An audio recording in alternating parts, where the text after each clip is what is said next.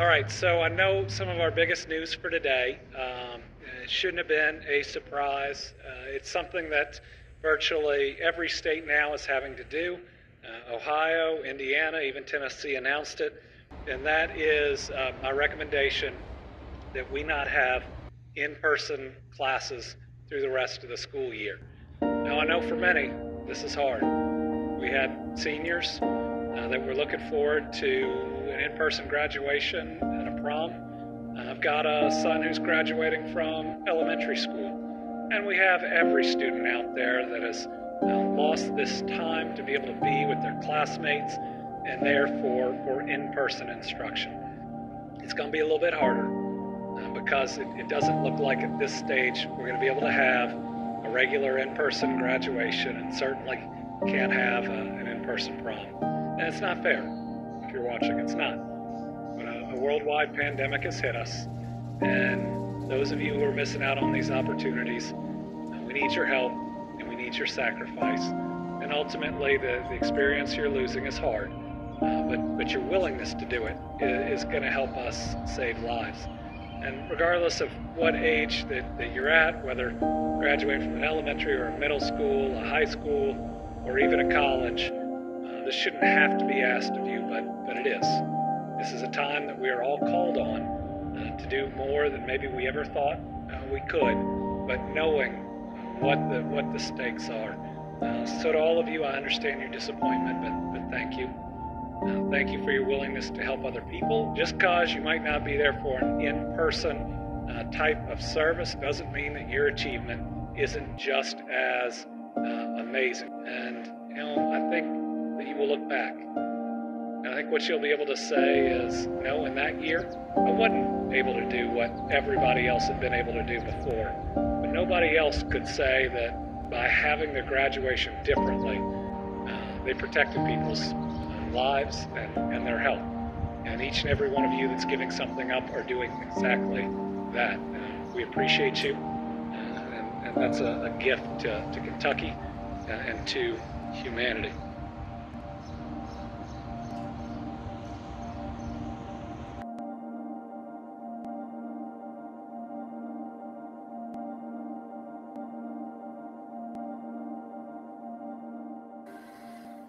Good afternoon, Westport. We are very excited to have you here virtually today to celebrate uh, what is the ending of your middle school career. Now, we usually have our promotion program in our gym with large groups of all your friends and family that can make it. Um, but unfortunately, we're not able to do that this year. We're going to be working through your pro, uh, program virtually. So we're going to have all those same elements that we pack into our promotion programs, but we're going to be doing it virtually this year.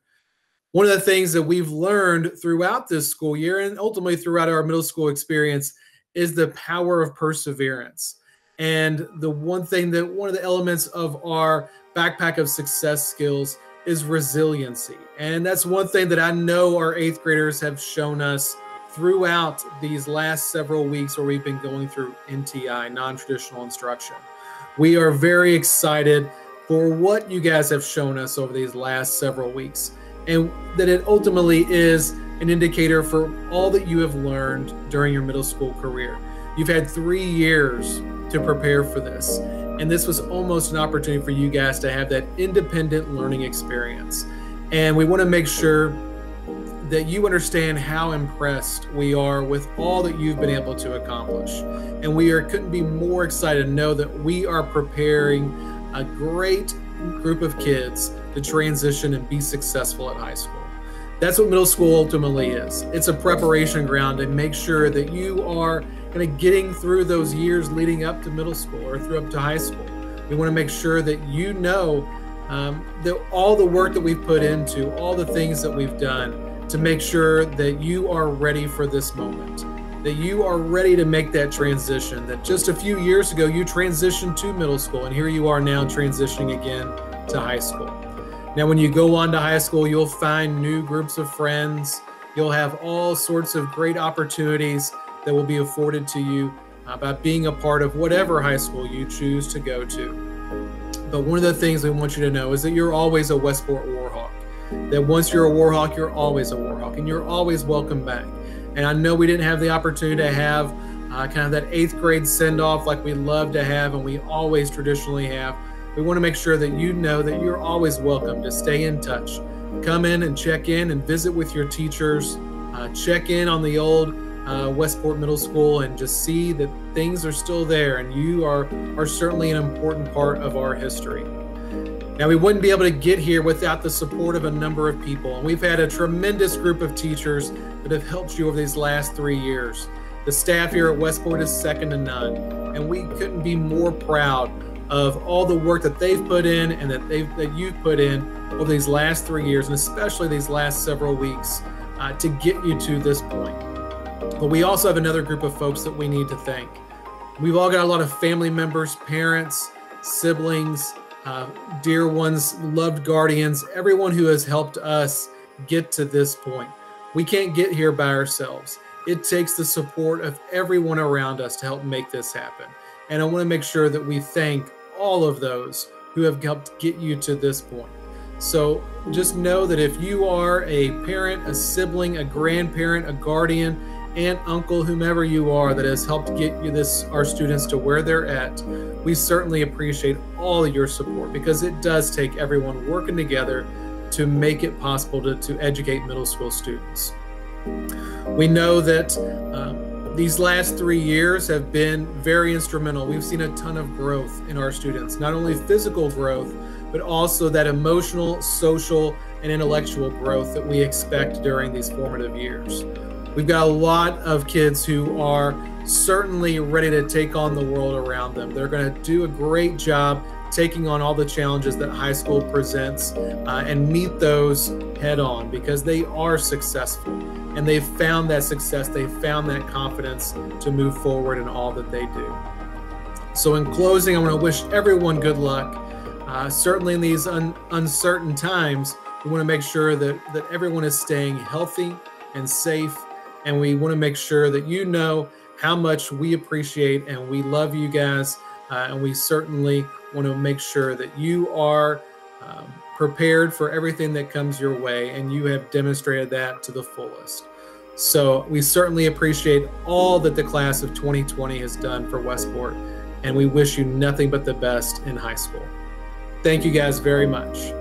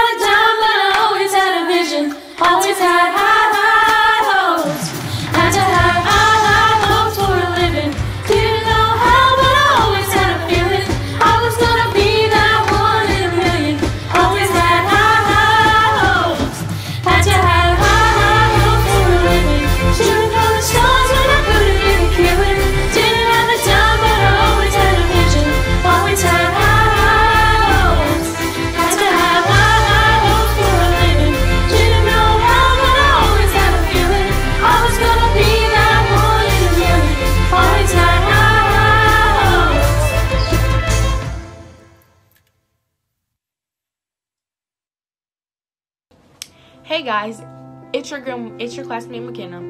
I'm here to talk about our eighth grade experience as penguins. Due to our current situation, we were unable to make more memories like the time we went to Lexington for a field trip. This field trip included us doing activities such as making rockets, smashing pumpkins, and riding some rides. Or all the times we had our award ceremonies, I personally loved those because it made me feel good about myself and also accomplished. I remember when we would get so hyped for each other and always took the teachers a long time to get us quiet. The most fun time was our pep rallies. We would love to be the loudest and the most hype. I remember when we won the spirit stick and some of us took pictures with it. Last but not least, let's talk about some lessons that our teachers taught us. Me personally, I feel like the one that helped me the most was you don't need to always say what's on your mind.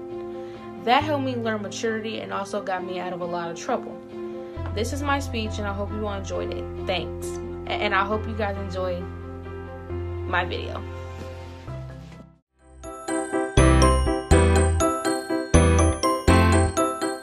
Penguins team would like to present a new award this year, um, an NTI shout out um, for a student who has done well in all of his classes um, through NTI. Um, he has kept in contact, he has done well on what he's turned in. Um, these are unprecedented times, and um, this student has really stepped up and uh, done a great job. We would like to give a shout out to Timothy Dye. Congratulations.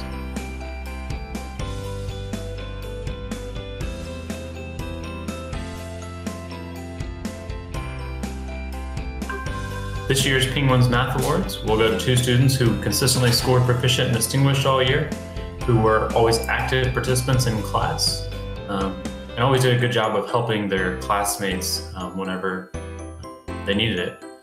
So I'd like to give this year's Penguins Math Awards to Shinhao Lee and Jasmine Fuentes Rodriguez. Congra- Congratulations, you two.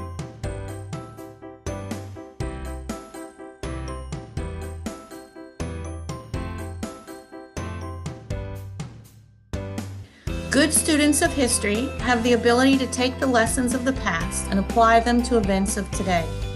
I am pleased to give the Social Studies Award to two amazing thinkers, Cooper Murphy and Eileen Silva Palacios. Thank you.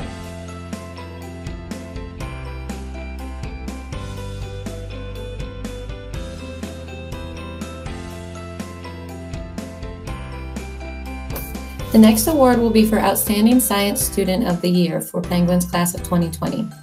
The two students who have been selected for this consistently have high scores on their assessments. They're active participants in their class and in their learning. They have drive and have shown motivation to succeed in all that they do, and they're clear leaders among their peers. I am extremely proud and happy to announce that Parsa Asghari and Danielle Davis are Penguin Science Students of the Year's Class of 2020. Congratulations.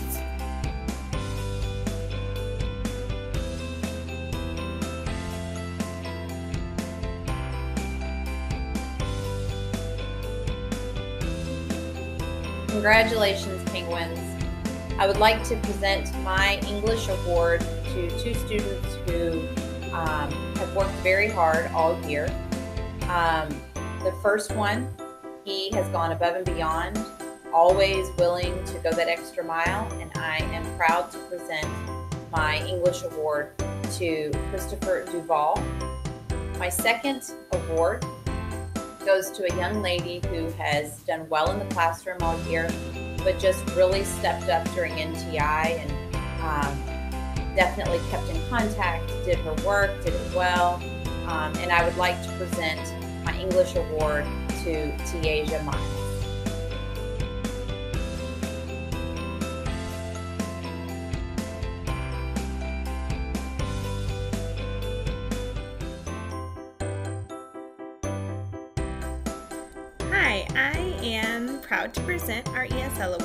This year. These awards are going to two students who have worked incredibly hard. They've shown up to school with a positive attitude, they ask questions when they need help, and they make sure to get all of their work done. They've made amazing progress and they're just two all around great kids. So I'm proud to present this award to Abayete Kura Finkler and Kenya Garcia Perez. Congratulations.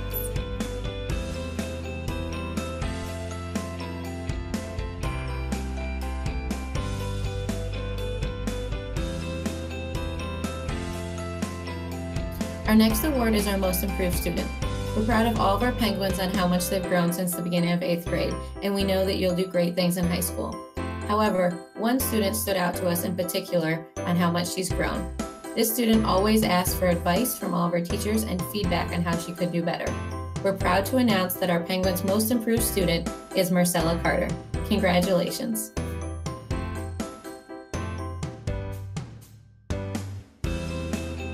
This year's Penguin Citizenship Award uh, will go to a student who was always respectful to his peers, always willing to put others first, whether that be helping his classmates or his teachers. So this year's Citizenship Award I'd like to give to Enrique Ramirez. Congratulations.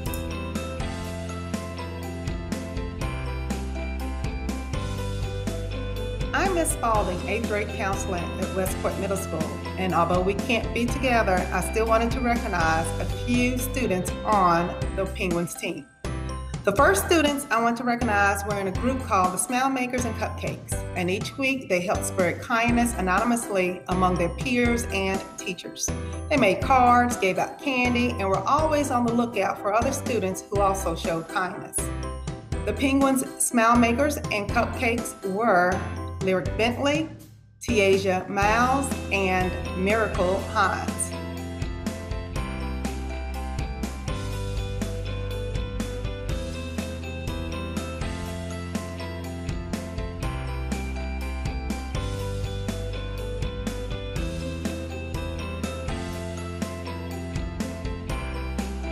Now I want to recognize a student for the Virtual Counselors Award. This student is the epitome of helper both in the classroom and out. She volunteered in the library and could often be found helping students and teachers alike. She was a quiet presence, but a known advocate for positive change in our school. The Virtual Council's Award goes to, again, Lyric Bentley. Thank you for going above and beyond our expectations and congratulations, Penguins Class of 2020.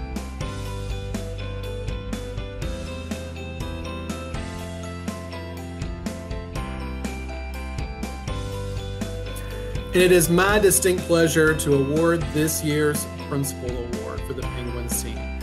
Now, when I talk to the Penguins teachers and we discuss different criteria for, for the recipient of the Principal's Award, one of the things we always take into consideration is that we want a student that's well rounded, that is solid in the classroom and solid out of the classroom, that sets an example for their peers. And this year's recipient is just that and then some. This student is extremely uh, talented in the classroom. They hold themselves to extremely high academic expectations, but also are not afraid to ask for help when needed. They are extremely respectful in and out of their classroom to all their peers, to our staff, and in uh, the building uh, and, in their classrooms. Uh, they are uh, often um, tasked with, with various responsibilities and always step up uh, and exceed those expectations. This student has overcome a number of challenges and has set a growth mindset that will suit them well as they head on into high school. So it is my distinct privilege to recognize this year's Penguins Principal Award recipient. I want to wish congratulations to Kara Magong. So congratulations.